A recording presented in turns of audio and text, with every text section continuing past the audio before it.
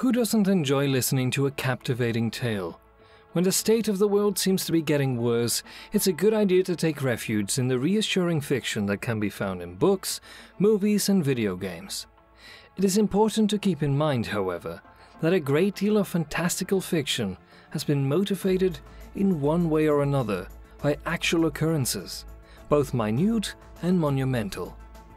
Some myths and legends have even been proven to be accurate with the truth often surpassing even the most fantastical accounts.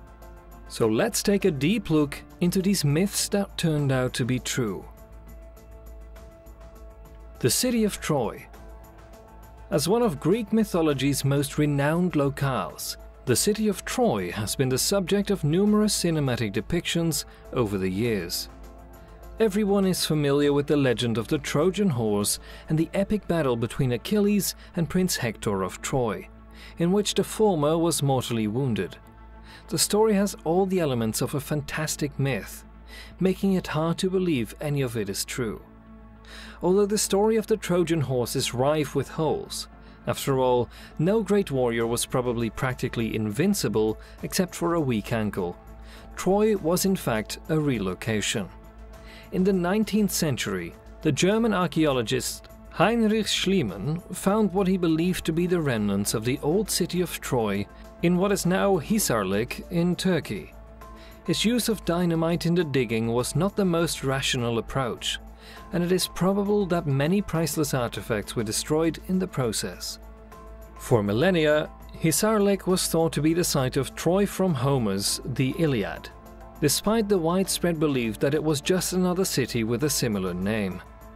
A major challenge in locating it is that the city was frequently destructed and then reconstructed on top of the wrecks, making accurate identification difficult. There is proof for at least 10 cities on the same site, any one of which could have been called Troy.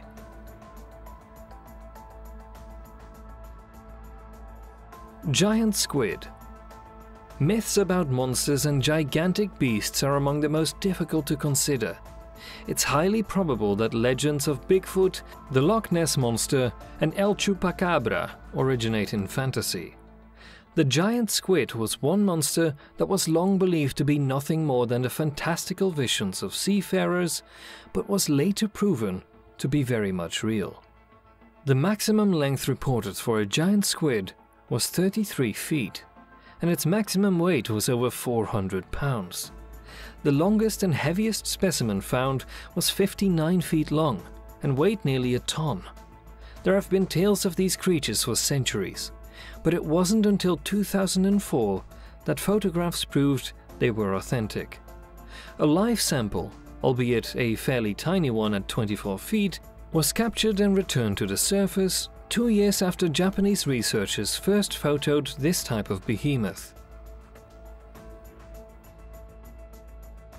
The city of Tenea. It's possible that you're familiar with Tenea if you're familiar with the legends and background of Troy.